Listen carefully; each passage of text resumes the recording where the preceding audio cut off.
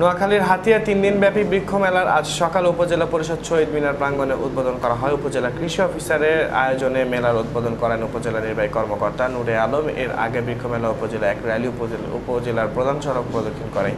উদ্বোধন শেষে আলোচনা সভায় প্রধান অতিথি ছিলেন নির্বাহী কর্মকর্তা নূরে আলম। বক্তব্য রাখেন পৌর mayor A K M Yusuf Ali, উপজেলা কৃষি কর্মকর্তা নুরুল ইসলাম, উপজেলা শিক্ষা অফিসার ভবরঞ্জন দাস, ছাত্রনেতা মহিউদ্দিন মহিন প্রমুখ।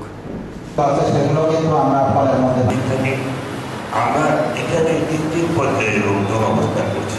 করে আলাদা করে বেড করেছে করে মাটি দিয়েছে। দিয়ে সেখানে পুঁই